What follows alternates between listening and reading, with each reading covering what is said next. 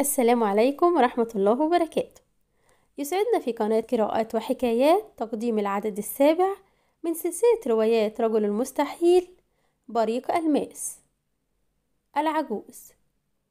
أضيئت المصابيح الكاشفة القوية لتبدد ظلام الليل وتضيء ممر الهبوط في مطار القاهرة الدولي وظهرت قوات الجيش المصري حول طائرة ركاب ضخمة من طراز البوينج. قبعت ساكنة على أرض المطار.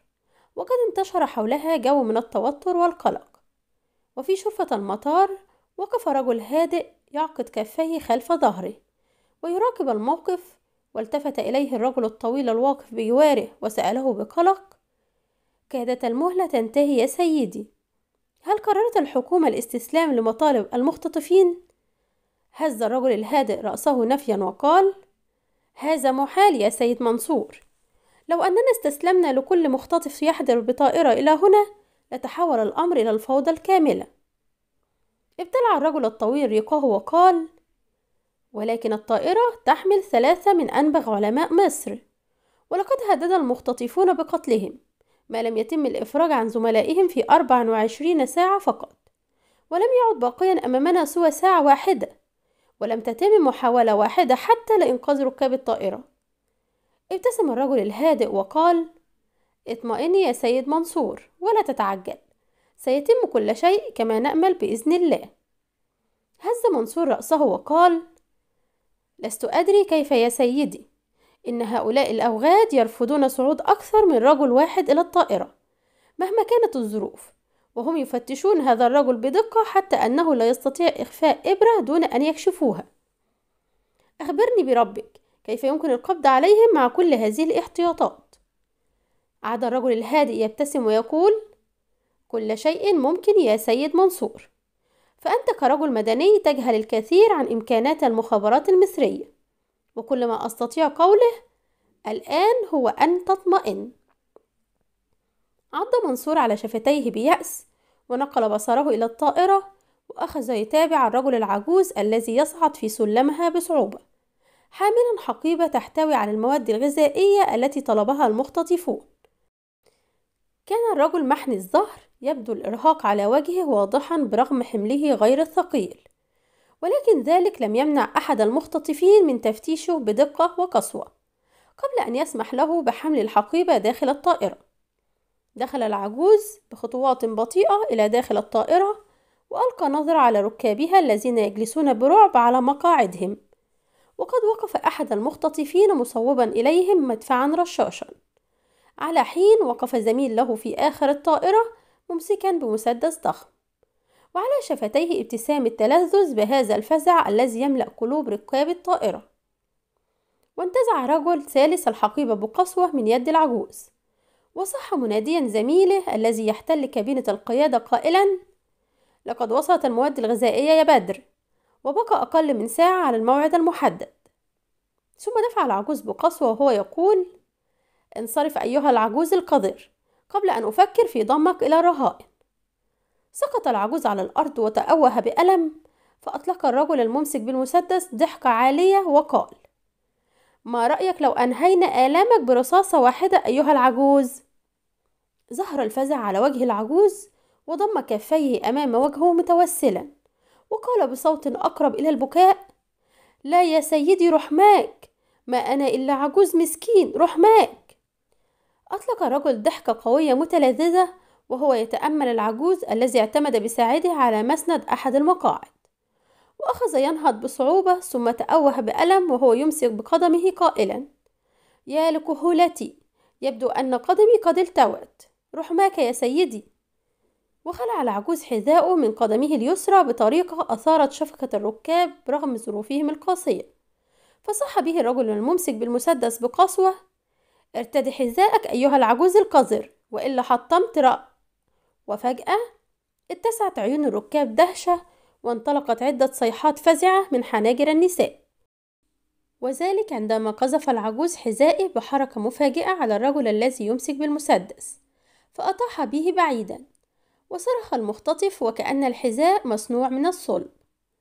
وقبل أن تخفت صيحات الفزع قفز العجوز برشاقة مذهلة وركل المدفع الرشاش الذي يمسك به أقرب المختطفين إليه. ثم وجه إلى فكه لكمة قوية وغاصت ركبته في معدة الرجل الآخر في نفس اللحظة. فأطلق صيحة تأوه عالية ثم سمع الركاب صوت تهشم فكه عندما أصابته قبضة العجوز. وقفز المختطف الرابع من كابينة القيادة مشهرا مدفعه الرشاش ولكنه أطلق صيحة دهشة وفزع عندما جذبته قبضة قوية وشعر بجسده يدور في الهواء ويرتطم بالأرض بقوة. ثم تفجرت الدماء من أنفه إثر ركلة قوية من قدم العجوز الذي التقط أحد المدافع الرشاشة بخفة وصوبه إلى الرجل الأول الذي كان يحاول الوصول إلى مسدسه ولكنه تخلى عن الفكرة وصاح بفزع وهو يرفع ذراعه فوق رأسه.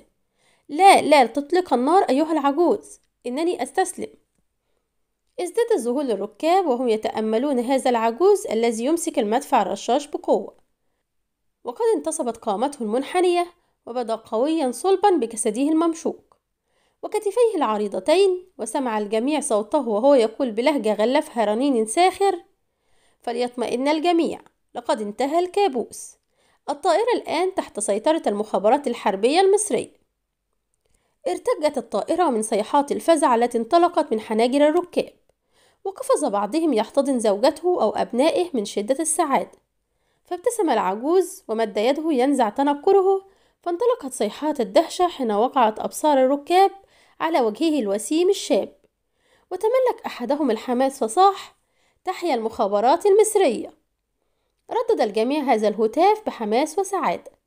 على حين وضع الرجل الوسيم الأغلال في أيدي المختطفين بهدوء واندفع رجال القوات المسلحة إلى داخل الطائرة ليصطحبوا المختطفين وليعاونوا الركاب على الهبوط من الطائرة بعد هذه التجربة القاسية.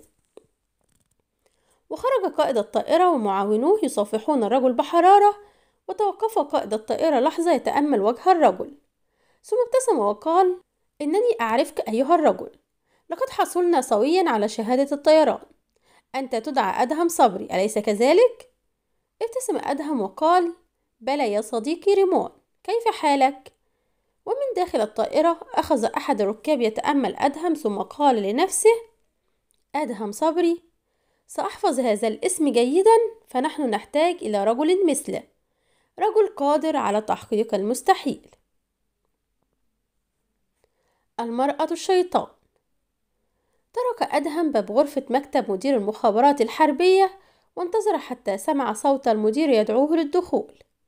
ثم دخل بهدوء وأدى التحية وقام إليه رجل قصير ممتلئ كان يجلس على مقعد أمام مكتب المدير.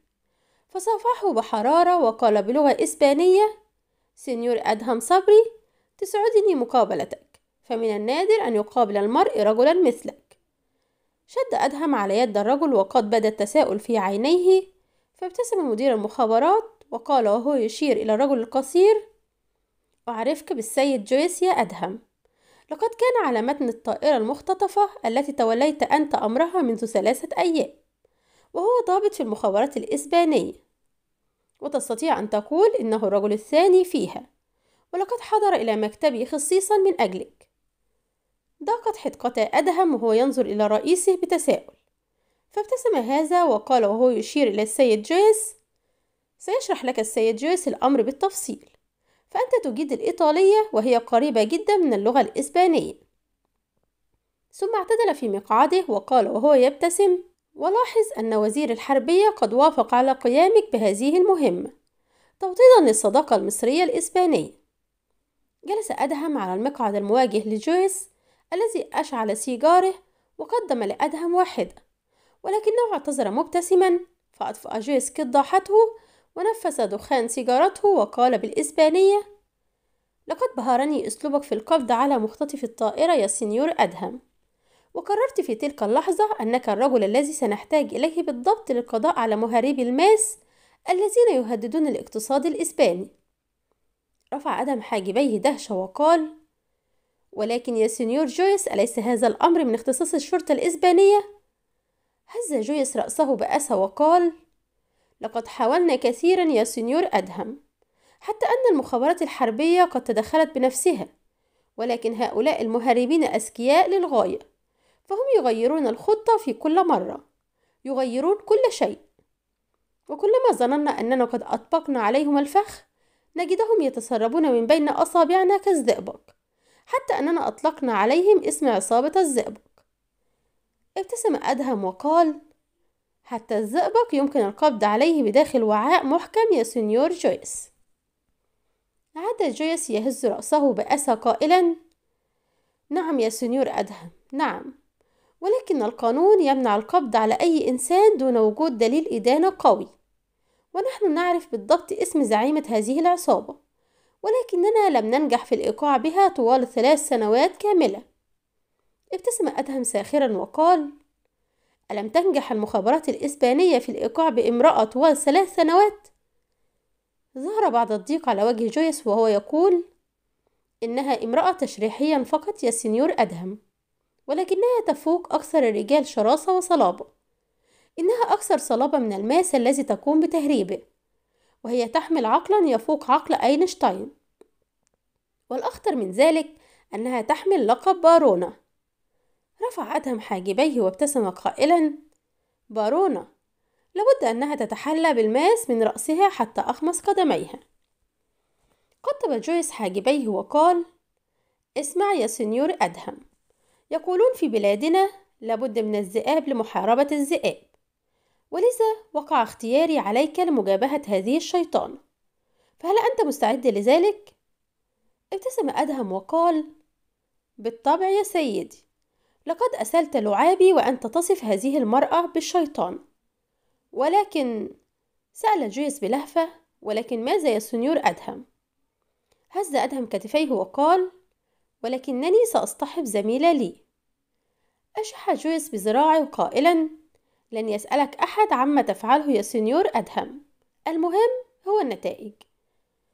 وما أن انصرف أدهم بعد قليل حتى التفت جويس إلى مدير المخابرات وسأله هل تظن أنه سوف ابتسم مدير المخابرات بثقة وقال اعتبر الأمر منتهيا يا سنيور جويس. فلم نطلق على أدهم صبري عبثا لقب رجل المستحيل. المعركة الأولى. تطلعت منى من خلال نافذة المنزل الصغير المطل على شاطئ البحر المتوسط في مدينة إليكانتي. وتأملت مشهد شروق الشمس الجميل ثم التفتت إلى أدهم وابتسمت وهي تتطلع إلى وجهه الذي تحول بفعل مهارته الفائقة في التنكر إلى وجه أسمر البشرة. مطلق اللحية مدبب الشارب واختفت عيناه خلف منظار طبي صغير. هزت منى كتفيها تعجبا من هذا التحول العجيب وقالت يتملكني العجب دائما يا سيادة المقدم وذلك عندما أراك متنكرا حتى أنني أتساءل في بعض الأحيان كيف يبدو وجهك الحقيقي. ابتسم أدهم وتناول سترته وهو يقول المهم أن يخدع تنكري هذا دون ماريا يا عزيزتي. ضحكت منى وقالت هذا التنكر قادر على خداع مدير مخابراتنا نفسه يا سيدي تأكد أدهم من حشو مسدسه ثم دسه في جيب معطفه وقال والآن هل لك أن ترددي على مسامعي ما سبق أن أخبرتك به بشأن دون ماريا؟ قامت منى بحركة تدل على الملل ثم قالت دون ماريا هي بارونة إسبانية تبلغ من العمر سبعة وثلاثين عاما وهي أرملة الزعيم السابق لعصابة الزئبق وترأس العصابة في الوقت الحالي وتمتلك قصرا منيفا هنا في أليكانتي. يحيط به الحرس المسلح طوال الوقت. كما تمتلك جريدة يومية ومصنع أحذية وعدة شركات مختلفة التخصصات. ابتسم أدهم وقال وهي شيطانة لها نعومة الأفعى وخبث الثعلب وشراسة الذئب. مدت منى شفتيها وقالت إنك تثير الرقفة في أوصالي بهذا الوصف يا سيدي. تجاهل أدهم العبارة وقال المهم أنها تخرج للتنزه بصحبة ثلاثة من الحراس الأشداء في السابعة من صباح كل يوم وسنحاول الوصول إليها في هذا الوقت فهذه هي الفرصة الوحيدة لمقابلة دون ماريا. ظهر شبح ابتسامة على وجه منى وهي تقول وماذا لو أن هذا لم يعجب حراسها الثلاثة؟ هز أدهم كتفيه وقال ببساطة سيكون هذا من سوء حظهم. أسرع رجل ضخم يفتح بوابة القصر المعدنية ثم انحنى ليقبل أنامل دون ماريا باحترام وتوقير. وأسرع آخر يشعل سيجارتها التي تتعلق في مبسم طويل تستقر بين شفتيها. وبخطوات هادئة واثقة خطوات ملكة عبرت دنا ماريا بوابة القصر. وأخذت تسير بتمهل في الطريق الطويل الممهد أمامها.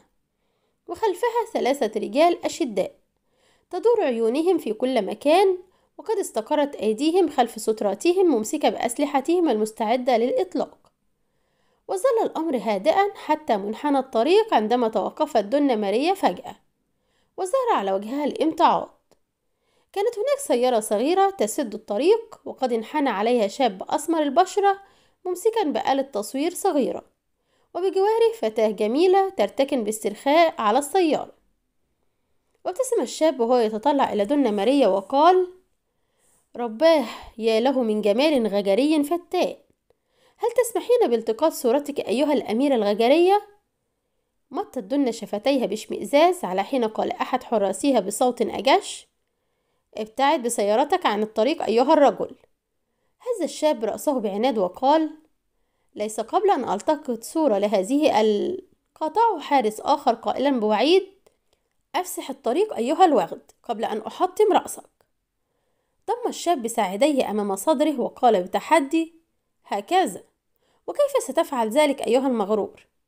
تدخلت منى متظاهرة بالخوف وأمسكت بذراع أدهم وقالت دعنا نبتعد يا خوليو ولا داعي لإثارة المشاكل. أزح أدهم يدها بهدوء وقال وهو يحدق في عيون الحراس الثلاثة بتحدي لا يا عزيزتي لابد أن ألقن هذا المغرور درسا. وهنا تكلمت دنا ماريا بصوت رقيق لا يتناسب مع شخصيتها القوية فقالت من الأفضل أن تستمع إلى رأي صديقتك أيها الرجل وإلا أجهدتها بحمل أشلائك وكأن هذه العبارة تحمل تصريحا للحراس فقد تحركوا فور سماعهم صوت أدهم وقد قفز الشر من عيونهم. تراجع أدهم خطوة إلى الوراء وقال وهو يمد ذراعه أمام وجهه لا هذا ليس عدلا. ثلاثة رجال ضدي. وفجأة خيل للرجال الثلاثة كأن إعصارا مدمرا قد هب فجأة أو أن بركانا قد انفجر في وجوههم وبطونهم. فقد تحركت قبضتا أدهم في آن واحد وسمعت دنا صوت تهشم أسنان أحد حراسها مختلطا بتأوه مؤلم. وحشرجة خشنة من حنجرة الحارس الثاني. وخيل للحارس الثالث أن السماء قد انقضت على معدته فانتزعتها. ثم ارتج جسده بقوة عندما ارتطمت قبضة حديدية بفكه. وقبل أن يزول ذهول الحراس الثلاثة شعر أحدهم بجسده يرتفع في الهواء. ثم يطير ويرتطم بزميليه وقبل أن يفقد الوعي سمع صوتا ساخرا يقول بلهجة تهكمية ألم أقل لكم؟ ليس من العدل أن يهاجمني ثلاثة رجال فقط. ولكن أدهم التفت فجأة عندما سمع صوت دنا ماريا الهادئ وهي تقول هذا رائع أيها الرجل. لقد تغلبت على أقوى ثلاثة رجال في أسبانيا بأكملها. ضاقت حدقة أدهم عندما رأى دنا وهي تبتسم ابتسامة هادئة وقد أمسكت بمبسمها بأنامل يدها اليسرى. وأمسكت في يدها اليمنى مسدس صغير تصوبه لرأس منى. وسمعها تقول بصوتها الرقيق ولكنك لست أسرع من دنا ماريا أيها الرجل. والآن ارفع ذراعيك فوق رأسك. وإلا حولت رأس صديقتك إلى مجموعة من الشظايا الصغيرة المختلطة بالدماء. الأفعى والشيطان. جلست دنا ماريا على مقعد ضخم يشبه العرش الملكي في نهاية بهوها الضخم ووضعت إحدى ساقيها فوق الأخرى وأسرع أحد رجالها يشعل سيجارتها ثم يبتعد إلى مكانه وهي تنفث الدخان في الهواء وتتأمل أدهم ومنى. وسرعان ما افتر صغرها عن ابتسامة مغرورة وهي تقول إذا فأنت تدعى خوليو أيها الرجل. نفس اسم المغني الشهير. وصديقتك إنجليزية تدعى إليزابيث. أما زلت مصرا على أنك تعمل مصورا فوتوغرافيا؟ ابتسم أدهم ابتسامة ساخرة وقال غير مبالي برجال دن الذين يحيطون به. رفعت دن أحد حاجبيها الكثيفين وقالت وكيف يمتلك مصور فوتوغرافي مثل هذه العضلات المفتولة؟ ومثل هذا الأسلوب الرائع في القتال إنك تهين ذكاء دن ماريا أيها الرجل. عملك هذا لا يقوم به إلا محترف. ضحك أدهم ضحكة مملوءة بالتهكم وقال أليس من حق المصورين ممارسة رياضة الكاراتيه؟ ضحكت دنا ضحكة رقيقة غير مناسبة للموقف وقالت بلى. ولكن هذا الأسلوب القتالي الذي استخدمته هو خليط من رياضات الجودو والكاراتيه والتايكوندو. بالإضافة إلى سرعة استجابة لا تتوفر إلا محترف. والآن ما الحقيقة أيها الرجل؟ غطت منى وجهها بكفيها وتظاهرت بالانهيار وهي تقول بصوت باك لا فائدة يا خليو سأخبرها أنا بالحقيقة سأخبرها حتى ينتهي هذا الكابوس. تظاهر أدهم بالتردد لحظة ثم قال بلهجة نجح في أن يصبغها بالاستسلام حسنا يا عزيزتي إليزابيث. ولكن صحت منى متظاهرة بالغضب ولكن ماذا يا خليو هل تخشى أن يبلغوا الشرطة؟ ألست ترى تلك الأسلحة التي يحملونها؟ ضحكت دنا وقالت بهدوء وهي تنفس دخان سيجارتها. استمع إليها يا خوليو. صديقتك من الذكاء حتى أنها لاحظت أننا لست من النوع الذي يرغب في تدخل الشرطة.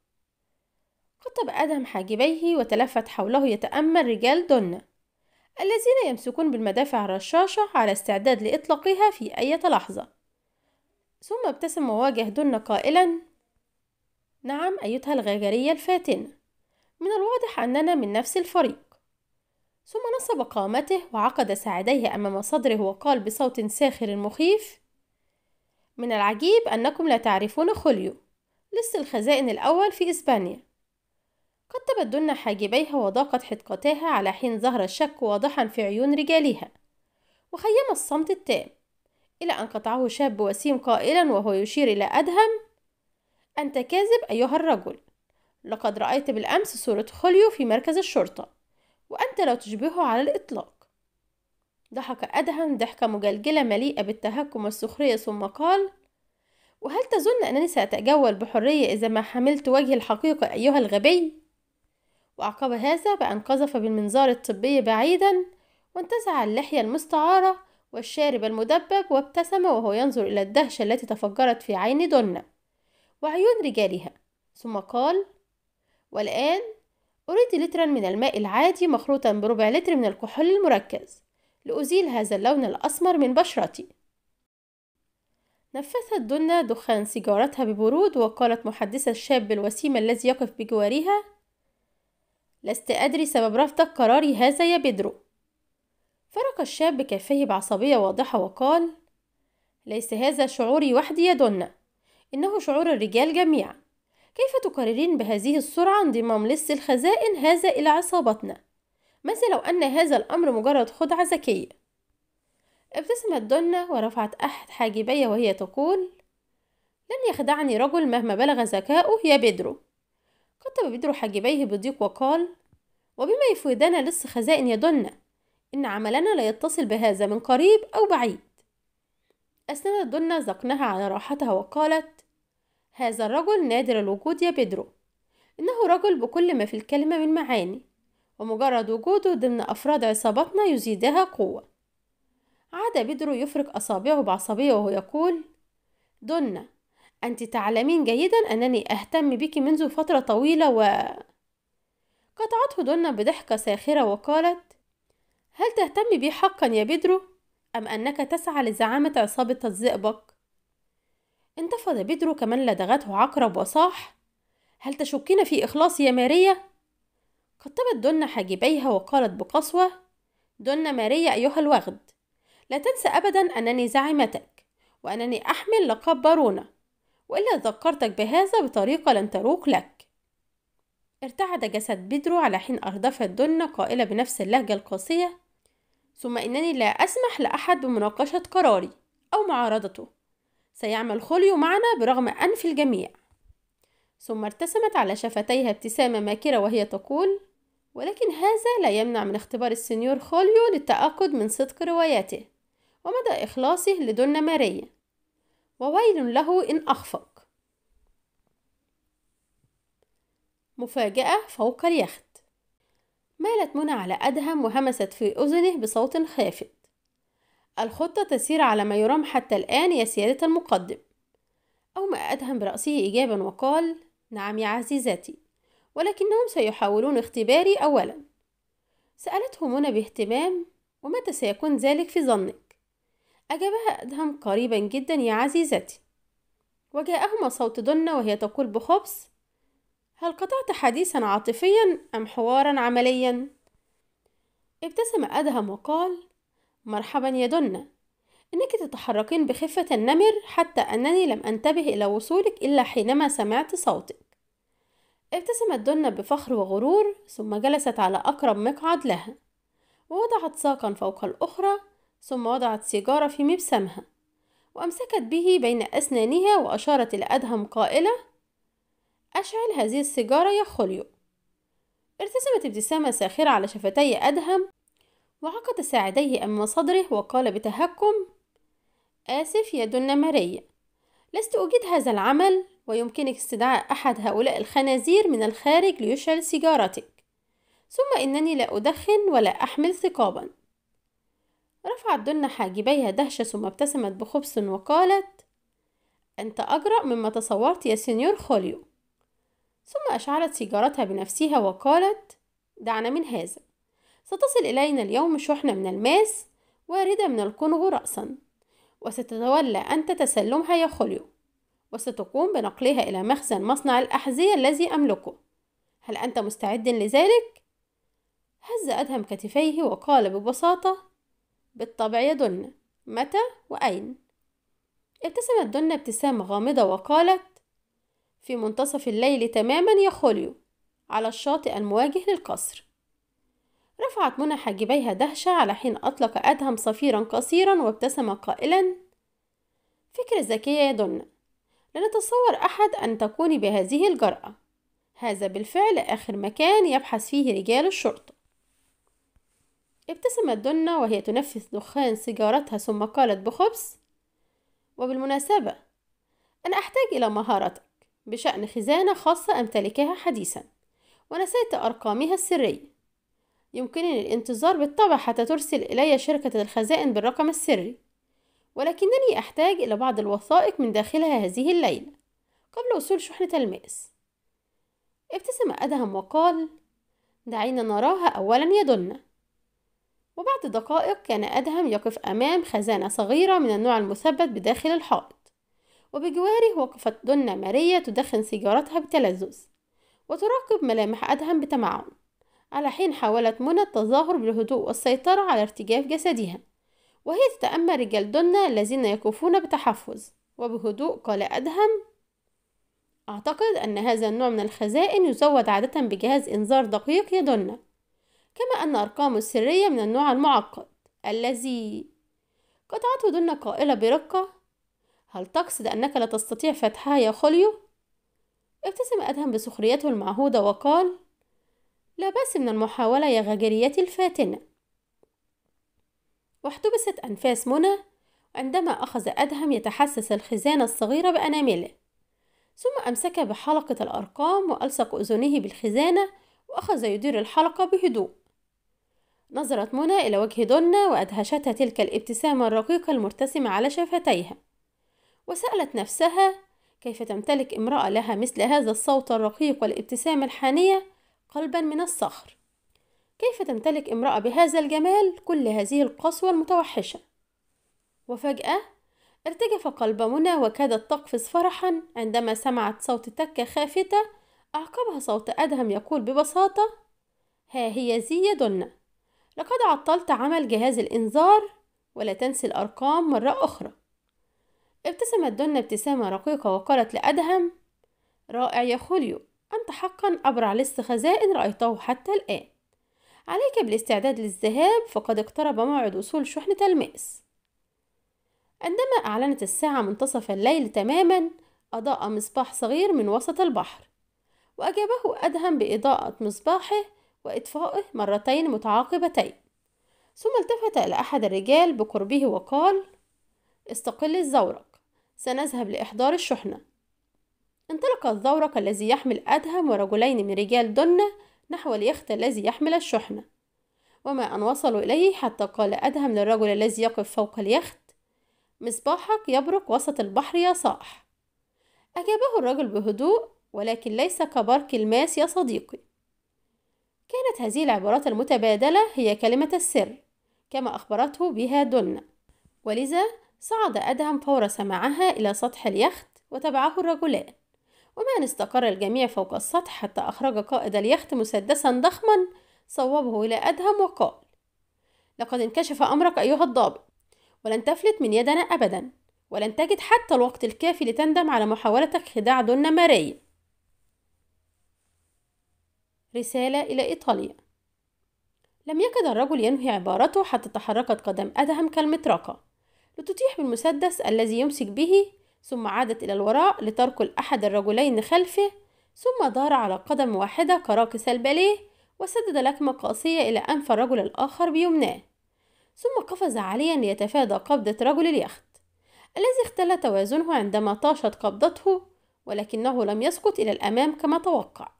بل إلى الخلف بعد أن أصيب فكه وأنفه بعدة لكمات قوية متتالية وعندما رفع رأسه وفتح عينيه كان أدهم يصوب إليه مسدسه وهو يقول بغضب هل أصابكم الجنون؟ أي خدعة هذه التي تتحدثون عنها؟ نهض قائد اليخت مترنحا وحاول إيقاف النزيف المنهمر من أنفه وقال وهو يشيح بذراعه غاضبا إنها خطة دنمارية يا سنيور لقد حاولنا إيهامك أننا نعلم شيئا ما حتى تعترف لو أنك أحد رجال الشرطة. أطلق أدهم ضحكة ساخرة عالية ثم قذف بالمسدس إلى الرجل وقال يا لها من امرأة دنمارية هذه. إنها أفعى ناعمة. حسنا. دعنا من هذه الحماقات ولنعمل على نقل شحنة الماس. ضحكت دنا ماريا ضحكتها الناعمة الرقيقة وقالت وهي تتأمل أدهم بإعجاب لا داعي للغضب يا عزيزي خوليو كان لابد من هذا الاختبار قبل أن أسمح لك بنقل شحنة الماس. هز أدهم كتفيه وقال لم يغضبني ذلك يا دنا ولكنني أخشى أن يفقد رجالك كلهم أسنانهم قبل أن أحصل على ثقتك الكاملة. عادت دنا تضحك وقالت لم تعد هناك حاجة لذلك يا خوليو لقد حصلت على ثقتي وإعجابي. وبعد قليل وفي غرفتهما سألت منى أدهم. كيف توصلت إلى أن الأمر كله مجرد خدعة يا سيادة المقدم؟ ابتسم أدهم وقال وهو يسترخي بجسده فوق مقعد وثير.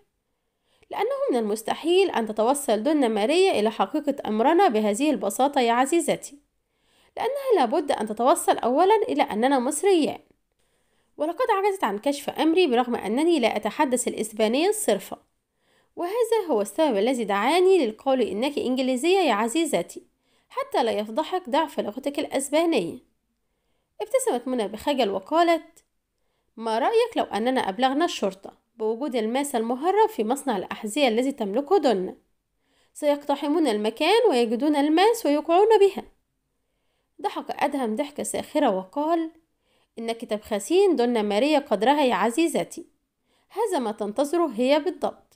ثم اعتدل وقال بجدية لو أن رجال الشرطة الإسبانية داهموا المصنع ما وجدوا سوى بعض القطع المستخدمة في تزيين الأحذية قطبت منى حاجبيها وقالت هل تعني أن ما نقلتموه الليلة ليس إلا قاطعها أدهم قائلا بتهكم بالطبع يا عزيزاتي اختبار جديد من دنا ماريا فلو أن الشرطة داهمت المصنع لأثبت هذا انتماءنا للأمن وفي نفس الوقت لا تخسر دنا شيئا هل رأيت كم هي خبيثة هذه الأفعى الناعمة؟ نفثت دنا ماريا دخان سيجارتها بغضب وقالت بلهجة قاسية وهي تنظر إلى بيدرو سبق أن طلبت منك عدم التدخل فيما أتخذه من قرارات يا بيدرو. ضرب بيدرو راحته بقبضته اليمنى وقال بعصبية هذا الرجل ليس إسبانيا يا ماريا. فليقطع ذراعي إن لم يكن كذلك. إنه يتحدث الإسبانية بلهجة أقرب إلى الإيطالية. وهذا ما لا يفعله سوى أجنبي عزيزتي. قطبت دنا حاجبيها وجذبت نفسا طويلا من سيجارتها. ثم نفست الدخان بعصبية وقالت ربما كان من برشلونة يا بيدرو. إنهم يتحدثون هناك بلهجة تشبه الإيطالية. هز بيدرو رأسه بقوة نفيا وقال بنفس اللهجة العصبية لا يا ماريا أنا نفسي من برشلونة ولكن هذا الرجل يتحدث بلهجة مختلفة. صدقيني يا عزيزتي من المستحيل أن يكون هذا الرجل إسبانيا. هزت دنا رأسها بضيق وقالت سيكون هذا مؤسفا يا بيدرو فهذا الرجل من الطراز الذي يعجبني. رفع بيدرو حاجبيه مندهشا وصاح مستنكرا ماريا ماذا تقولين؟ نظرت دنا في عينيه بتحدي وقالت أقول إنني لو قررت الزواج يوما ما فلن أتزوج رجلا مثلك يا بيدرو بل رجلا مثله. رجلا يثير الخوف في نفسي لا العكس. ثم تحولت لهجتها إلى القسوة وهي تقول ثم إنني سأقطع لسانك في المرة القادمة إن لم تخاطبني باسم دنا ماريا. شحب وجه بيدرو وعجز عن النطق على حين تابعت دنا قائلة بهدوء. وعموما سأرسل صورة خوليو إلى صديق لي في إيطاليا. صديق له وزن هناك. دون مايكل ولا ريب أنك تعرفه. إنه الأب الروحي للمافيا هناك وهو الشخص الوحيد الذي يستطيع إفادتي بحقيقة صديقنا خوليو لو أنه من أصل إيطالي. انتقام الأفعى. وضعت منى يدها برقة على كتف أدهم وسألته بصوت خافت. هل هناك ما يشغل بالك يا سيدي؟ إنك تتطلع من النافذة منذ أكثر من ساعة. أجابها أدهم دون أن يستدير إليها يبدو أنهم يستعدون للاحتفال بمناسبة ما أيتها الملازم. اقتربت منى من النافذة وتأملت رجال دنا ماريا الذين يتحركون بنشاط في أرجاء حديقة القصر. يعلقون الزينات والأضواء الملونة وبعضهم يقوم بنصب منصة صغيرة وتثبيت بعض مكبرات الصوت فوقها. وسمعت منى أدهم يتمتم بلهجته الساخرة. أراهن أن الماس المهرب سيصل الليل. التفتت منى إليه وسألته بدهشة كيف تجزم بذلك يا سيدي؟ هز أدهم كتفيه وقال مجرد تخمين يا صغيرتي فالحفل مكان مناسب جدا. يضيع وسط بريق أضوائه بريق آلاف الماسات الثمينة. وفي هذه اللحظة سمع الإثنان صوت طرقات رقيقة على باب الحجرة فقال أدهم بالإسبانية يمكنك الدخول يا دنا ماريا دفعت دنا الباب ودخلت إلى الحجرة وهي تبتسم قائلة لمحة جديدة من لمحات ذكائك يا سنيور خوليو. ابتسم أدهم بتهكم وقال لا أظن أحدا من خنازيرك هؤلاء يستطيع طرق الباب بهذه الرقة يا دنا ضحكت دنا ضحكتها الرقيقة التي تثير الدهشة وقالت أعتقد أنك لن تشاركنا حفل الليلة يا سنيور خوليو فسوف تذهب إلى البحر في مهمة حقيقية هذه المرة. ابتسمت منى وقالت لن أدعك تذهب وحدك هذه المرة يا خوليو. سأرافقك حتى لو ذهبت إلى الجحيم. ضحكت دنا نفس الضحكة الرقيقة وقالت هذا العمل لا يناسب فتاة رقيقة مثلك يا عزيزتي إليزابيث. نظرت إليها منى بتحدي وقالت وهل يناسب امرأة ناعمة مثلك يا دنا ماريا؟ ضحكت دنا وقالت سنناقش هذا الأمر في أثناء تناولنا الشاي في الحديقة يا عزيزتي إليزابيث. جلس أدهم ومنى حول المائدة الصغيرة الأنيقة في حديقة قصر دنا ماريا. وبجوارهما جلست دنا وبدرو وكانت دنا تقول بابتسامة رقيقة ما زلت أصر على أن هذا العمل لا يناسبك يا عزيزتي. سيذهب خولي وحده لتسلم الشحنة وستبقين هنا في ضيافتي حتى يحضر. قطب أدم حاجبيه وقال هل يعد هذا نوعا من الضمان يا دنة؟ ضحكت دنة ضحكتها الرقيقة وقالت ليس بالضبط يا خوليو ولكن إليزابيث ستظل في ضيافتي حتى يصل الماس إلى هنا. رفع أدم حاجبيه وقال وهل ستحضرين الماس إلى قصرك يا دنة؟ ابتسمت دنة ابتسامة خبيثة وقالت لدقائق معدودة يا خوليو حيث يتسلمه السنيور كيخوتا ليقوم بصقله وطرحه في الأسواق.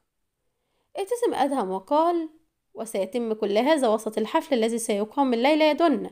أليس كذلك؟ أطلقت دنة ضحكة ناعمة قصيرة وقالت بلى يا عزيزي خوليو فهذا الحفل يقام بمناسبة تبرع لإقامة مكتبة عامة في أليكانتي وسيحضره الحاكم المحلي ومدير الشرطة وكل الشخصيات الهامة في المدينة هل هناك وقت أنسب من ذلك نقل وتسليم حقيبة صغيرة تحتوي على عشرة كيلوغرامات من الماس الخام؟ استند أدهم إلى ظهر مقعده وقال يا لك من داهية يا دنة إنها خطة عبقرية بلا شك. ضحكت دنة بفخر وغرور في نفس اللحظة التي اقترب فيها أحد رجالها وهو يحمل هاتفا لاسلكيا وقال مكالمة هامة يا دنة وعاجلة. تناولت دنة ماريا الهاتف بحركة رشيقة ووضعته على أذنها وسرعان ما ضاقت حدقتاها والتمعت عيناها الخضروان ببريق شرس.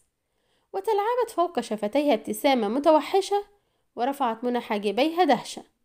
فقد تحولت ملامح دنا الجميلة إلى وجه شيطاني مرعب وطفت طبيعتها القاسية لتغطي ذلك القناع الرقيق الزائف حتى أن رعدة صارت في جسد منى وتوجست شرا. ولكن وجه دنا استعاد بسرعة ملامحه الرقيقة وهي تناول الهاتف لرجلها وتعبس في حقيبتها الصغيرة قائلة معذرة. لقد كانت هذه المكالمة مفاجأة غير متوقعة. وبغتة شهرت مسدسها الصغير في وجه أدهم ومنى وقالت بقسوة شرسة لقد داهم رجال الشرطة مصنعي الصغير يا سنيور خوليو. لقد كشفت أمرك بهذه الخطوة الغبية. ارتجف جسد منى وتشبست بذراع أدهم الذي قال بغضب واضح وهل تظنين أنني أبلغت الشرطة يا دنة؟ يا لك من حمقاء. وهل أبلغ الشرطة عن شحنة من أدوات الزينة؟ ظهرت الدهشة على وجه دنة على حين قفز بدرو واقفا وشهر مسدسه في وجه أدهم وصاح بشراسة سأقتلك أيها الوغد الخائن من أجل قطعته دنة بلهجة حازمة وهي تشير إلى رجالها الذين شهروا أسلحتهم بالتريث وقالت سه يا بدرو وقالت سه يا بدرو كيف علمت بأمر الشحنة يا خوليو؟ كيف علمت أنها ليست ماسا؟ قال أدهم وهو يشيح بذراعه غاضبا. وهل معرفة محتويات صندوق صغير من الكرتون أمر عسير على لص خزائن عبقري مثلي يا دنة؟ قطبت دنة حاجبيها وقالت وهي تداعب أنفها الصغير بأناملها. هذا صحيح. ومن الطبيعي ألا تقوم بإبلاغ الشرطة في هذه الحالة حتى لو كنت واحدا منهم. فهذا سيثير الشك حولك ولكن الشرطة داهمة المصنع ولابد أن أحدا قد أخبرهم بالأمر. قال أدهم وهو يرمق بيدرو بنظرة نارية. نعم يا دنة لقد أخبرهم شخص يريد إبعادي عن طريقه. شخص يثير وجودي حقده. التفتت دنة إلى بيدرو الذي شحب وجهه عندما رأى ابتسامتها الرقيقة وصاح. ماريا لا يمكنك أن تشك في أمري. ابتسمت ماريا وقالت بهدوء ولم لا يا عزيزي بيدرو إنه أسلوبك التقليدي. فأنت تعلم أن مداهمة الشرطة للمصنع لن تسفر عن نتائج سيئة ولكنها ستظهر خليو بمظهر الخائن وستزيح من طريق منافستك. إنها خطة ذكية يا بيدرو أهنئك. فرت الدماء من وجه بيدرو وارتعدت فرائسه حتى أن مسدسه سقط من يده وهو يقول لا يا ماريا لا لن تقتليني من أجل ذلك إنما فعلته من أجلك. حتى لا يخدعك هذا الخائن. وبإشارة رقيقة من يد دنة أحاط رجالها ببدرو وقالت هي بهدوء لن أقتلك يا عزيزي بدرو ولكنني حذرتك من قبل أن تناديني باسم ماريا مجردا. ثم ضحكت ضحكة مرعبة وقالت نعم يا عزيزي بدرو لن أقتلك ولكنني سأمنعك من التحدث مرة ثانية مع رجال الشرطة. سأقطع لسانك الذي وشى بنا ومن المؤسف أنك لن تتمتع برؤية الألعاب النارية الملونة هذه الليلة. فسأنتزع عينيك قبل ذلك. ضغط أدهم على أسنانه اشمئزازا وارتعد جسد منى عندما أطلق بدر صيحة رعب عالية متوسلة. على حين انطلقت دنة تضحك ضحكتها الرقيقة الناعمة. شحنة الموت. تلألأت الأضواء في حديقة قصر دنة ماريا وامتلأت برجال ونساء المجتمع في أليكانتي وأخذت هي تنتقل بين المدعوين وهي توزع ابتسامتها الرقيقة وعباراتها المهذبة على الجميع. وأسرعت تصافح الحاكم المحلي ومدير الشرطة وقدمت إليهما منى قائلة السنيورة إليزابيث صديقة إنجليزية يا سيدي الحاكم ويا سيدي مدير الشرطة إنها تقيم هنا في إجازة قصيرة صافح كل منهما منى باحترام وتمنيا لها قضاء إجازة سعيدة في أليكانتي. وفي نفس اللحظة صافحت دنا رجلا قصيرا يبدو المكر على ملامحه واضحا وهي تقول مرحبا يا سينيور كيخوتا. كم أنا سعيدة لوجودك بيننا الليلة. انحنى كيخوتا يقبل أنامل دنا قائلا أما أنا فيسعدني وجودك بجواري دائما يا دنا ماريا. وفي نفس اللحظة جاء أحد رجال دنا وهمس قائلا مكالمة من إيطاليا يا دونا. دون مايكل شخصيا. تنبهت منى عندما وصل إلى سماعها اسم دون مايكل زعيم المافيا الشهير. فاعتذرت برقة من الحاكم المحلي ومدير الشرطة وتبعت دنا خفية إلى داخل القصر. أمسكت دنا بسماعة الهاتف وقالت بلهجتها الرقيقة مرحبا يا دون. مضت فترة طويلة منذ استمعت إلى صوتك لآخر مرة. قال دون مايكل باهتمام وقلق متجاهلا عبارات المجاملة التقليدية. استمعي إلي جيدا يا دون ماريا. هذا الرجل الذي أرسلت صورته لا يدعى خليو ولم يدعى يوما بهذا الاسم. قطبت دون حاجبيها وقالت بقلق من هو إذن يا دون؟ هل يمثل خطرا؟ فجر دون مايكل قنبلته قائلا إنه أخطر ما يمكن أن تتصوري يا دون. هذا الشاب ليس إيطاليا إنه مصري ضابط مخابرات مصري. يسمونه هناك أدهم صبري ولكننا نطلق عليه اسم الشيطان. رفعت دن حاجبيه دهشة وذهولا وتمتمت بصوت خافت. يا للشيطان ضابط مخابرات مصري وما شأن المخابرات المصرية بعملنا. قال دون مايكل بقلق لست أدري يا دونا حقيقة لست أدري. ربما استعانت به المخابرات الإسبانية فهذا الرجل أكثر مهارة من الشياطين أنفسهم. خذي حذرك يا دن. قالت دنا بغضب قبل أن تضع السماعة. حتى الشياطين لا يمكنهم هزيمة دنا ماريا يا دون ثم أشعلت سيجارتها بعصبية وهي تقول إذا فصديقنا خوليو هو ضابط مخابرات مصري متطفل. لابد أن زميلته إليزابيث هذه هي الأخرى. وصاحت تنادي أحد رجالها الذي هرول باتجاهها فقالت بلهجة آمرة أحضر تلك الفتاة الإنجليزية في الحال إلى هنا. ابتسم الرجل وقال لقد قبضنا عليها بالفعل يا دون. فلقد أثارت شكوكنا عندما وجدناها تتبعك خفية. ضحكت دنا ضحكتها الرقيقة المرعبة وقالت حسنا فعلتم دعوها مقيدة في قبو القصر حتى ينتهي الحفل. وسأجبرها على الاعتراف بكل ما حدث لها منذ ولادتها أما أنت فاتصل بقبطان اليخت وأخبره بهذه الرسالة التي سأمليها عليك. ثم نفست دخان سيجارتها وابتسمت بشراسة وهي تقول ويل لك أيها الشيطان المصري ستقابل اليوم من هو أكثر شراسة من مخابراتكم بأكملها. تحرك الزورق البخاري الذي يحمل أدهم وثلاثة من رجال دنة نحو اليخت الصغير الذي يقبع ساكنا وسط مياه البحر. وقال أحد الرجال وهو يشير إليه من هذا اليخت ستنطلق الألعاب النارية يا رفاق. ابتسم أدهم وقال ولن يتصور أحد طبعا أن هذه الألعاب النارية تخفي بضوئها بريق الماس. ضحك الرجال الثلاثة وقال أحدهم هذا يرجع إلى ذكاء دنة ماريا الجبار إنها عبقرية. توقف الدورق البخاري بجوار اليخت وصاح أدهم قائلا هل ستضيء هذه الألعاب النارية الليلة يا صاح؟ أجابه صوت أجش من سطح اليخت قائلا نعم يا صديقي سيكون لها بريق يخطف الأبصار ابتسم أدهم وأسرع يتسلق سلم اليخت وهو يقول ولكنه ليس كبريق الماس وصافح الرجل الضخم الذي يقف على سطح اليخت وسأله هل أحضرتم الشحنة؟ أشار الرجل إلى حقيبة صغيرة وقال ها هي ذي إن هذه الحقيبة تساوي ثروة. تناول أدهم الحقيبة وقال مبتسما هذا ما يقولون عنه ما خف حمله وغلا ثمنه. وهنا اقترب أحد الرجال الثلاثة الذين يعملون على سطح اليخت من القبطان الضخم وناوله ورقة صغيرة قرأها بتمعن. ثم ابتسم ابتسامة شرسة كشفت عن أسنان قذرة وقال للرجل وهو يتأمل وجه أدهم حسنا. استعدوا لإطلاق الصاروخ الناري الأزرق الذي طلبته الدنة شعر أدهم بخطر ما عندما تراجع القبطان الضخم ثلاث خطوات إلى الوراء وهو يقول مبتسما ابتسامة خبيثة ترى هل أعجبك أسلوبنا يا سنيور خوليو؟ وفجأة شهر القبطان مسدسا ضخما في وجه أدهم وقال بلهجة ساخرة أم أن أسلوب مخابراتكم يختلف يا سنيور أدهم؟ بريق الخطر. كانت سرعة الاستجابة التي أبداها أدهم مذهلة للغاية. فقد قفز إلى الأمام بمرونة تعجز عنها الفهود.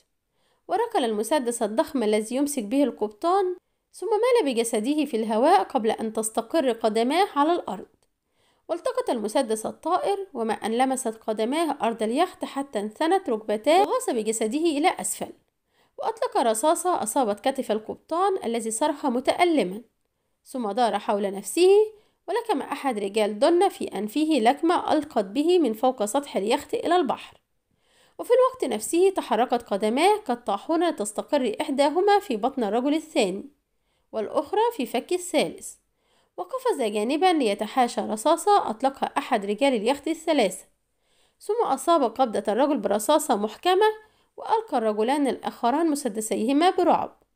ورفع كل منهما ذراعي فوق رأسه فاستند أدهم بظهره إلى سور اليخت وصوب مسدسه إلى الجميع. وابتسم ساخرا وهو يقول هذا هو أسلوب مخابراتنا أيها الوغد. ترى هل أعجبك؟ تمتم القبطان بعدة عبارات غاضبة غير مفهومة وهو يمسك بكتفه المصابة. فأشار أدهم إلى أحد الرجلين اللذين بقيا دون إصابة في المعركة وقال تعال هنا أيها الوغد. ستقوم بإرسال رسالة خاصة عبر جهاز اللاسلكي باليخت. ثم قطب حاجبيه دون أن تفارق الابتسامة الساخرة شفتيه وقال وبعدها سيكون لي شأن آخر مع دنا ماريا الرقيقة. ابتسمت دنا ماريا ابتسامة انتصار عندما انطلق صاروخ ناري أزرق من فوق سطح اليخت لينفجر مضيئا ظلمة السماء بضوء أزرق متناثر.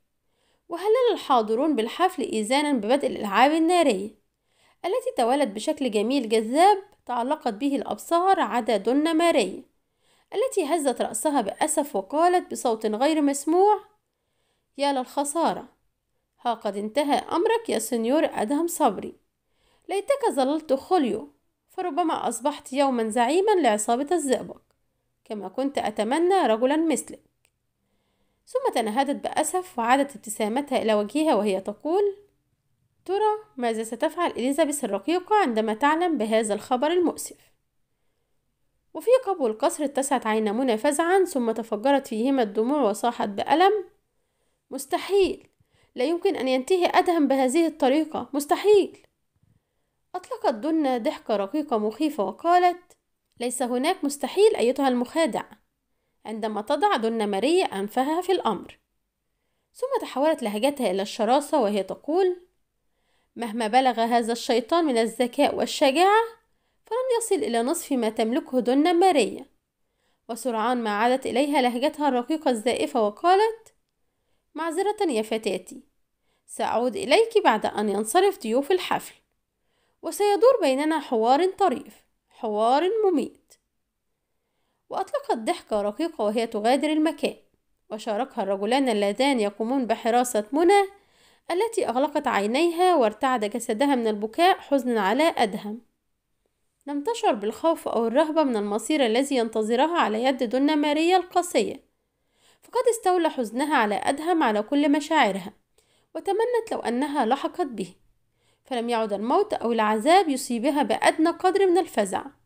وفجأة احتبست الدموع في عينيها ورقص قلبها فرحا. وكادت صيحة سعادة تفلت من بين شفتيها عندما سمعت صوتا مألوفا يقول بهدوء سأصطحب هذه الجاسوسة إلى دنا فهي تطلبها.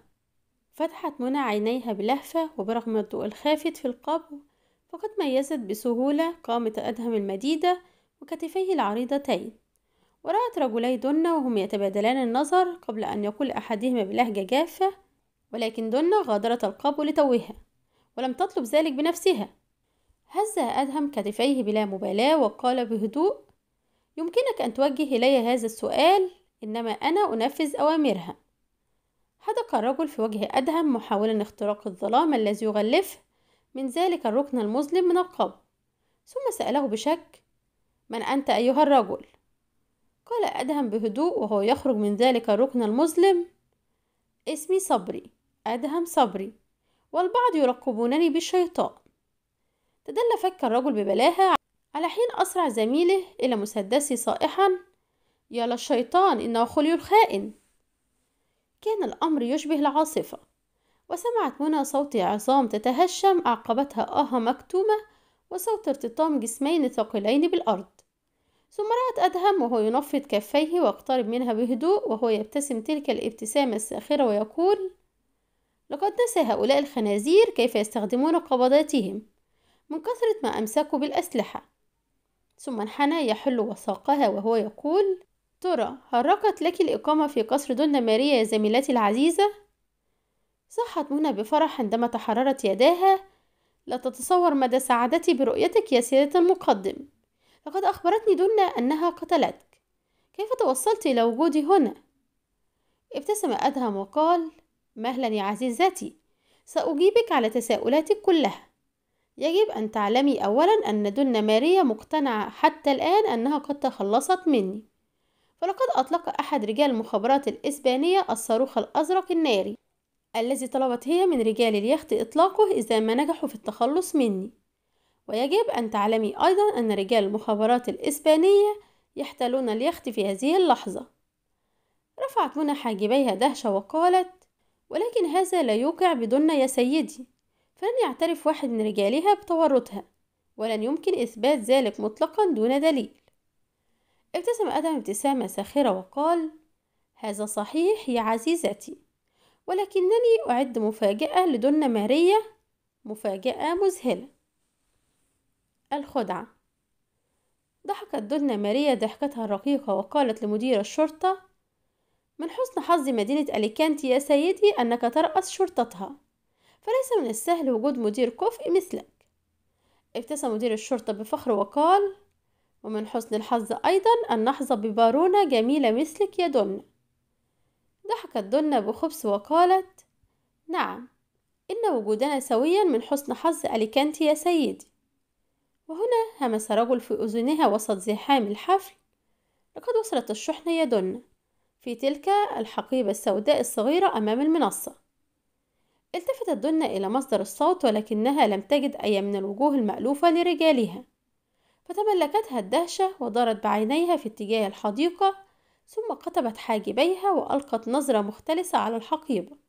ثم قالت لنفسها لماذا أتى هؤلاء الأغبياء بالحقيبة إلى الحديقة؟ إنها هنا أمام عيون الجميع. ولكنها ابتسمت بخبث وقالت لنفسها بل ربما كان هذا أفضل. فوجود حقيبة وسط هذا العدد الضخم يجعل من المستحيل إثبات ملكيتها لأي منهم. وبرقة اعتذرت من مدير الشرطة الذي قبل أناملها باحترام وأخذت تبحث في الحفل عن كيخوتة وهي تحرص على ألا تفارقها ابتسامتها الرقيقة طوال الوقت. ولم تنس أن تلقي بعدة عبارات مجاملة رقيقة. حتى وجدت كيخوتة فقالت ببساطة وكأنها لم تقصد مقابلته.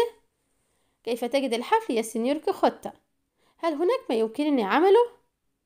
انحنى كيخوتة يقبل أناملها قائلا بمرح. إنه حفل رائع يا أميرتي لا ينقصه إلا بريق عينيك. قال عبارته هذه وغمز بعينيه بخبث فابتسمت دنة وهمست في أذنه. لقد وصلت الشحنة وهي في حقيبة سوداء صغيرة أمام المنصة مباشرة. ولكنني أظن أن في الأمر خدعة ما. شحب وجه كيخوتة وقال هامسا هل كشفوا الأمر يا دنة؟ حافظت دنة على ابتسامتها الرقيقة وقالت بهدوء لست أدري يا كيخوتة ولكن وجود الحقيبة هنا يثير الشك. امتقع وجه كيخوتة وحاول الابتسام بصعوبة وهو يقول وماذا سنفعل يا دنة هل نترك الحقيبة هناك؟ ابتسمت دنة بسخرية وقالت بالطبع لا يا كيخوتة ليس من أجل بعض الشكوك ولكنني أقسم أن أعاقب المسؤول عقابا رادعا. لو أن الأمر كله عبارة عن فكرة حمقاء لأحد رجالي.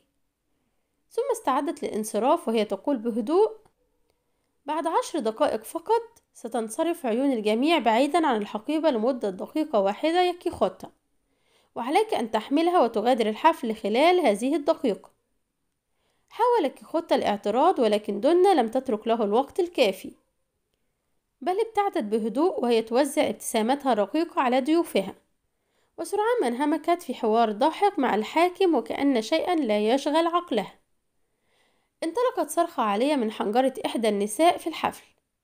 فالتفت إليها الجميع بذعر فوجدوها تشير إلى شرفة القصر السفلي وقد ارتسم على وجهها الخوف. وأسرع بعض الرجال إلى الشرفة التي اشتعلت فيها النيران وتعلقت أنظار الباقين باللهب عدا دنا ماريا التي اختلست النظر إلى الحقيبة السوداء الصغيرة وابتسمت بخبث عندما حملها كيخوتة وتحرك بسرعة وعصبية نحو باب القصر.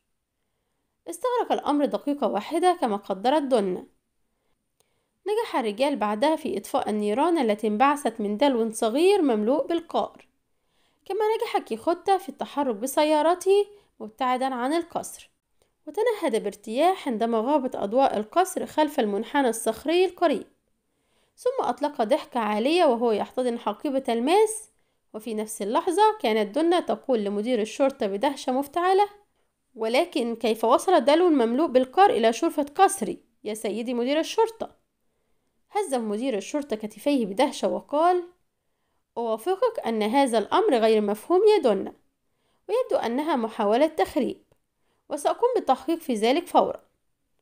ابتسمت دنا ابتسامتها الرقيقة وقالت وهي تربط على كتف مدير الشرطة؟ ليس الآن يا سيدي.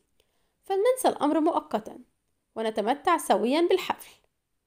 بادلها مدير الشرطة الابتسام وقال كما تأمرين يا دنا لننسى هذا الأمر. ولكن مؤقتا.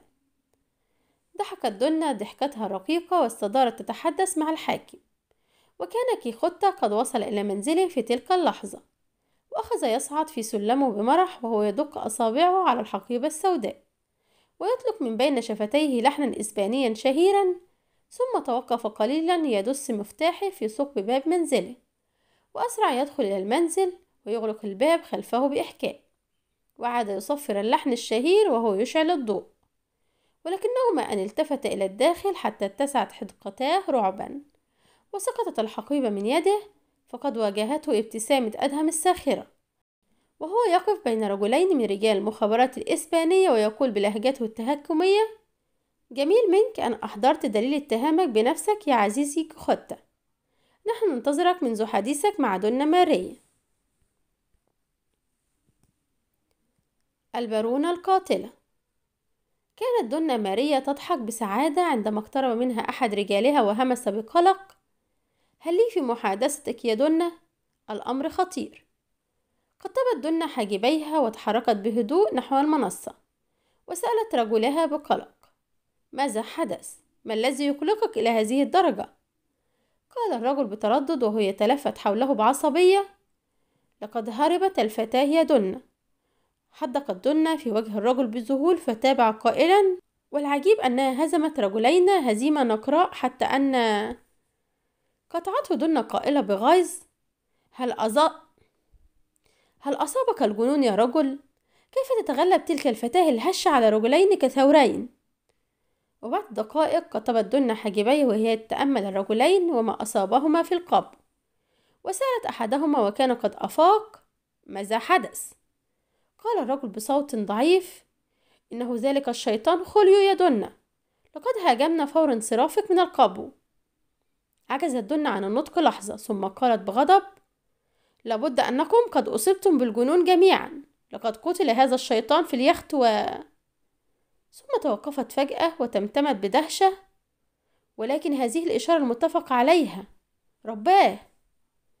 والتفتت إلى أقرب الرجال إليها وصاحت احجز لي مقعدا على الطائرة التي ستغادر مدريد بعد ساعتين من الآن إلى إيطاليا ولتستعد طائرتي الخاصة لنقلي إلى العاصمة بعد نصف ساعة على الأكثر أسرع الرجل ينفذ أوامرها على حين قطبت هي حاجبيها وقالت بصوت خافت يبدو أن هذا الشيطان أخطر بكثير مما تصورت. لقد كان دون مايكل محقا في تحذيره ولكنه لن يوقع بدون ماريا أبدا. تأملت منى وجه أدهم بعد أن انتهى من تنكره وابتسمت بإعجاب وهي تقول سأدفع نصف عمري لو أن دون ماريا تعرفت تنكرك المتقن هذا قال أدهم بجدية وهو يضع مسدسه في جيب سترته لست أستبعد ذلك يا منى فهذه المرأة تمتلك ذكاء يفوق ذكاء العلماء تبعته منى حتى استقل سيارته وقالت بضيق هل ستذهب وحدك هذه المرة أيضا؟ ربط أدهم على يدها برقة وقال أعدك ألا أذهب وحدي في المرة القادمة يا عزيزتي. ثم انطلق بالسيارة قبل أن يسمع تعليقها وقال لنفسه وهو يقترب من القصر ترى من منا سيفوز في هذه الجولة يا دنا الأفعى أم الشيطان؟ كانت دنيا ماريا تتحرك في الحفل بعصبية ولكنها لم تتخلى عن ابتسامتها الرقيقة وإن ظلت تنظر في ساعة يدها الماسية كل دقيقة تقريبا. وفجأة تسمرت قدماها وجف حلقها لحظة واحدة.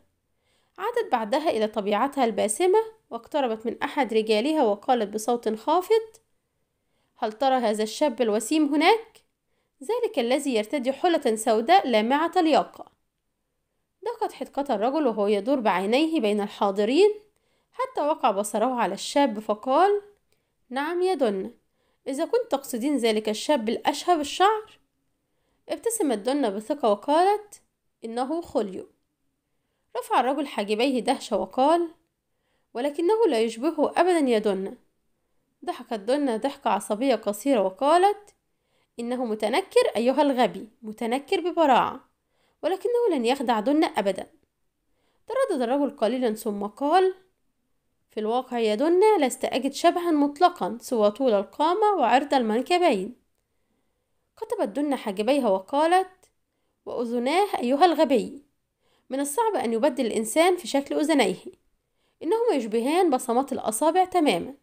حتى أن الشرطة الفرنسية ما زالت تستخدمهما لتعرف المجرمين حتى يومنا هذا. ثم أردفت وهي تبتسم بخبث قائلة ألم أقل لك؟ إنه لن يخدع دنا ماريا أبدا. فلنحول هذا الحفل إلى حفل احتفال بمصرع هذا الشيطان. كان أدهم يتحرك بهدوء وعيناه تتابعان دنا ماريا حتى أصبح ملاصقا لها فارتطم بها متعمدا وابتسم ابتسامة جذابة وهو ينحني لالتقاط حقيبتها من الأرض وقال عفوا يا دن لعل هذا الاصطدام غير المقصود يكون فرصة لبدء تعارفنا. ابتسمت دنا بخبث وقالت ألم نتقابل سابقا يا سنيور يخيل إلي قاطعها أدهم وهو يقول مبتسما لا أظن أيتها الجميلة. فهذه أول مرة.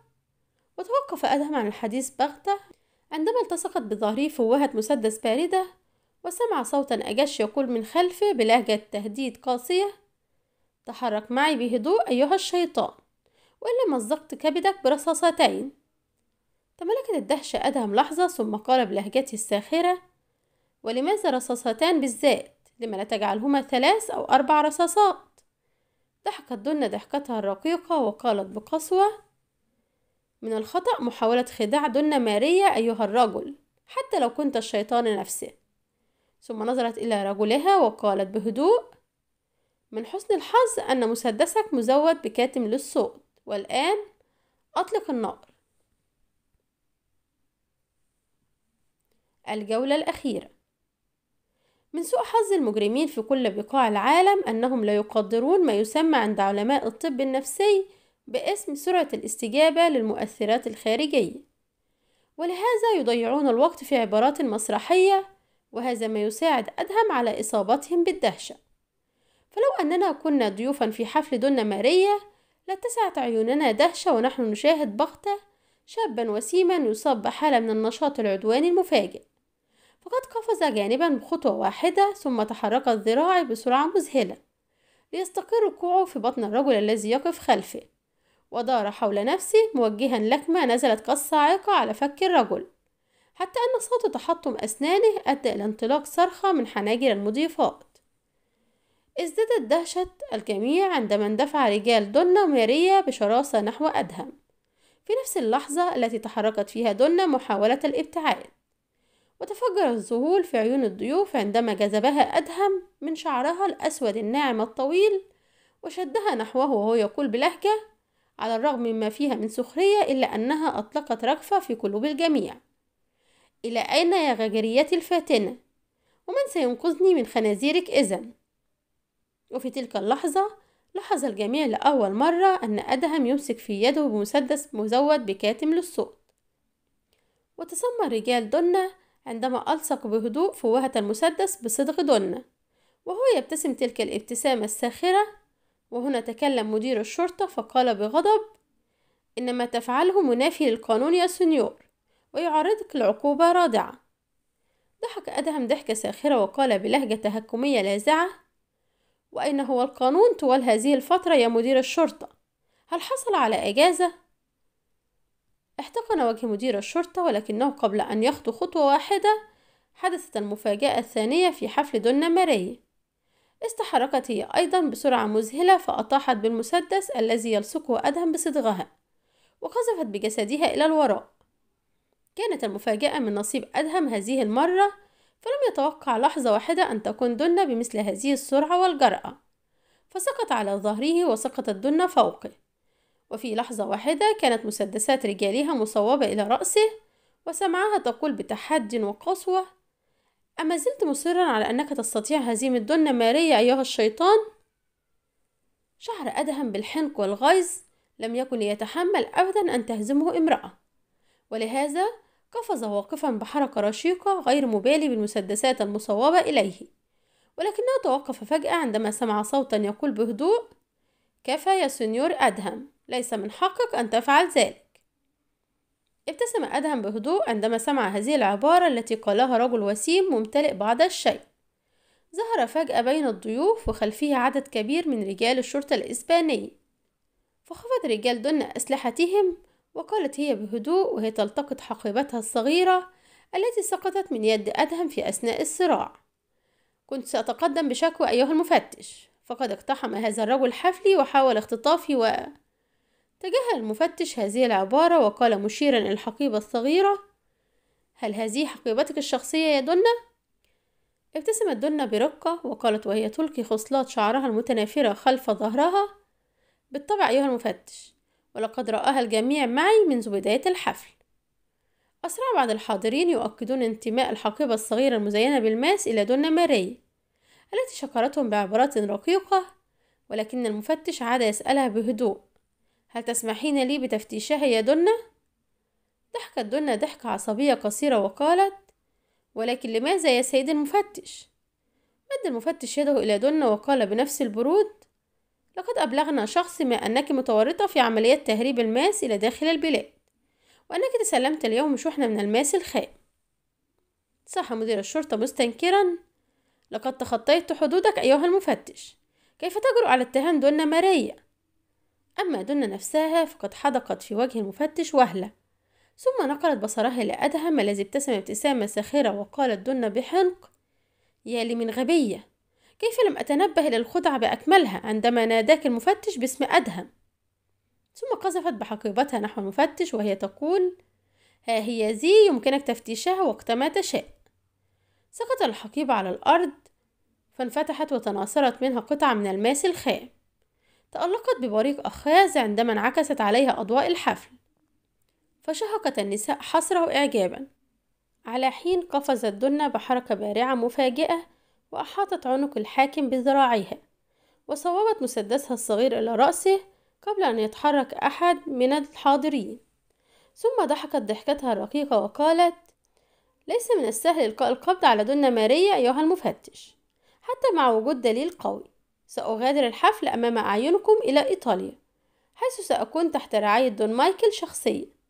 آه نسيت أن أقول إن أي محاولة سيكون الحاكم ضحيتها. قطب أدهم حاجبيه وقال لن يمكنك الهرب يا دنة. ضحكت دنة وقالت وهي تتراجع ببطء إلى ساحة خالية معدة لهبوط الطائرات المروحية؟ هل تراهن على ذلك أيها الشيطان؟ وفي تلك اللحظة وصل إلى الجميع صوت طائرة مروحية تقترب. فقالت دنة وهي تضغط بشدة على عنق الحاكم الذي تأوه بألم ما هي إلا لحظات وأغادر إسبانيا تماما أيها الشيطان. لن تفخر أبدا بأنك هزمت دون ماريا.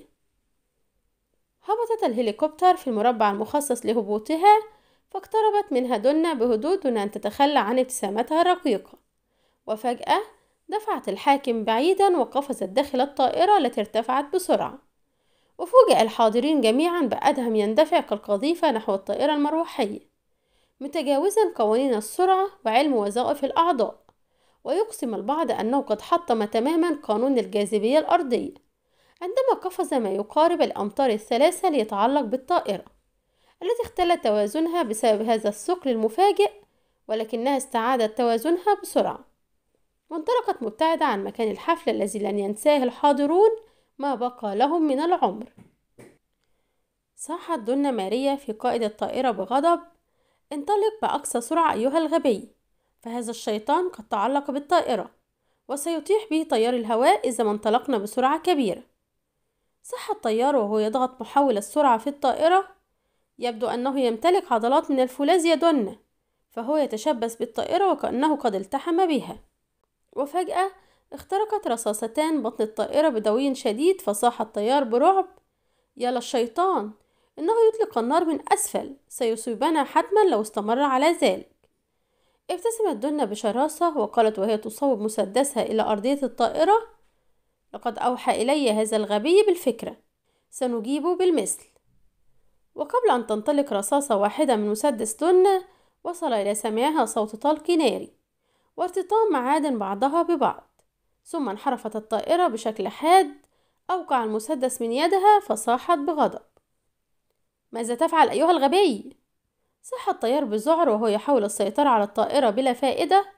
لقد أصاب هذا الشيطان مروحة الطائرة الخلفية وتحطمت الدفة. ثم أردف بلهجة يائسة مستسلمة لا فائدة يا دن لن يمكنني التحكم في اتجاه الطائرة أبدا. سنظل ندور حول أنفسنا حتى ينفد الوقود حدقت دن في وجه الطيار لحظة ثم صاحت بشراسة. هل تعني أن هذا الشيطان المصري قد هزمني؟ لا إنني أفضل الموت. ثم تناولت مسدسها وصوبته إلى الطيار الذي صاح برعب. لا لا لا يا دنة أثار الطلق الناري المبعث من داخل الطائرة دهشة أدهم وشعر بالطائرة تترنح ثم تنقض كالنسر على سطح البحر. فقفز منها ليغوص في الماء قبل أن ترتطم الطائرة بالبحر بقوة. وشعرت دنة بالصدمة ترج جسدها وشهات الماء يرتفع أمام زوايا النافذة الأمامية للطائرة. وارتفع طنين شديد داخل رأسها ثم غابت عن الوعي. واكتنف عقلها ضباب كثيف. لم تدري دنا كم من الوقت مر. ولكنها عندما فتحت عينيها وجدت أدهم منحنيا فوقها وشعره يقطر الماء على وجهها. وشعرت بجسدها يرتعد بردا وسمعت أدهم يقول بلهجته الساخرة كان الندم سيقتلني لو أصابك سوء يا غجريتي الفاتن. أزاحت دنا خصلة شعر مبتلة من أمام عينيها وقالت لقد صدقوا عندما أطلقوا عليك لقب شيطان يا سنيور أدهم. هز أدهم كتفيه وقال وهو يناولها يده ليساعدها على النهوض صدقيني أيتها الأفعى. لست أحب هذا اللقب الذي يشير إلى الشر. ضحكت دنا ضحكتها الرقيقة وقالت وهي تنهض معتمدة على ذراعه جميل لقب الأفعى هذا أيها الشيطان. ألا ترى معي أننا ثنائي خطير؟ ضحك أدهم ضحكة ساخرة وقال بالطبع أيتها الغجرية الجميل ويا له من ثنائي الأفعى والشيطان. ابتسمت دنا وسألته بهدوء هل لك أن تخبرني لماذا أنقذت حياتي يا سنيور أدهم؟ ضحك أدهم وقال بلهجة قاسية لأن مثلك لا ينبغي أن يموت هكذا كالفأر الغريق. في طائرة مغلقة يدن مارية وسيسعدني أن أقدمك للعدالة حتى تنالي جزائك عما اقترفتيه ولا أسعد برؤية وجهك عندما تعلمين أنه ما من امرأة في العالم يمكنها أن تهزم أدهم صبري حتى لو كانت أفعى ناعمة مثلك. احتقن وجه دنا ماريا وانساب الدمع لأول مرة في حياتها من عينيها وهي تسير باستسلام أمام أدهم صبري. الختام. ابتسم مدير المخابرات المصرية ابتسامة عريضة وهو يطالع التقرير الذي وصل إليه من المخابرات الإسبانية. ثم رفع رأسه مواجها أدهم ومنى وقال لقد بهرت المخابرات الإسبانية ببراعتك أيها المقدم. ولقد منحك جلالة ملك إسبانيا وسام الشجاعة من الدرجة الأولى. كما منح الملازم منى توفيق الوسام نفسه. ولقد اتصل بي السنيور جويس لتوه وأخذ يشيد بشجاعتكما ابتسم أدهم ابتسامة هادئة وأطرقت منى خجلا وسعادة. على حين استطرد مدير المخابرات وهو يضحك قائلا ولعل أبرع مواقفك أيها المقدم عندما دسست الماس الخام في حقيبة دنة مارية دون أن تلاحظ هي أو رجالها ذلك. لا ريب أن أبرع النشالين يحسدك على هذه المهارة. والواقع أنني في بعض الأحيان أحمد الله على أنك تعمل في جانب الحق وإلا لصرت عدوا مرعبا. استمرت الابتسامة الهادئة على وجه أدهم وهو يقول كل من يمتلك عقلا ناضجا لابد أن يختار جانب الحق يا سيدي. اعتدل مدير المخابرات في مقعده وسأل أدهم باهتمام ما رأيك في شخصية دنا ماريا أيها المقدم؟ استحوذ السؤال على انتباه منى فتطلعت إلى وجه أدهم بلهفة وأرهفت سمعها لتستوعب كل كلمة ينطق بها على حين انتصبت قامته وقال بجدية واهتمام كان ينبغي توجيه هذا السؤال لطبيب نفسي يا سيدي لأن دنا ماريا هي مزيج من عدة أمراض نفسية فهي نرجسية تعشق ذاتها وتؤمن بقوتها وذكائها لدرجة الغرور كما أنها تعاني البارانويا أو عقدة الاضطهاد مع قليل من جنون العظمة ومن العجيب أنها تمتلك جمال نجمة سينمائية وقسوة سفاح مجنون و ضحك مدير المخابرات وقال كفى أيها المقدم وإلا غضب أطباء النفس من هذا التحليل الدقيق وبعد لحظات عندما اتخذ أدهم بصحبة منى طريقهما لخارج مبنى المخابرات الحربية ترددت منى قليلا ثم سألته ترى هل ما أخبرت به مدير المخابرات هو رأيك الحقيقي في دنا ماريا يا سيدي؟ ضحك أدهم وقال سبق أن طلبت منك عدم مناداتي بكلمة سيدي إلا في أثناء العمل يا منى. ثم إن دنا ماريا شخصية معقدة وهي أسوأ مما ذكرته للمدير بكثير. إنها باختصار امرأة مستحيلة. ضحكت منى وقالت بخبث وهي تطلع إلى وجه أدهم ربما كانت دنا ماريا امرأة مستحيلة. ولكنها الآن وراء قضبان سجنها في إسبانيا تتطلع في كل يوم إلى غروب الشمس. وهي تلعن ذلك اليوم الذي جرأت فيه على تحدي ضابط مخابرات مصر يعرف باسم رجل المستحيل. تمت بحمد الله. شكرا أصدقائي على متابعة الحلقة للنهاية. وإن شاء الله تكون عجبتكم ونلتقي مع حضراتكم في حلقات تانية إن شاء الله. ياريت لو ما كنتوش لسه اشتركتوا في القناة تشتركوا وتفعلوا زر الجرس ليصلكم كل جديد. والسلام عليكم ورحمة الله وبركاته.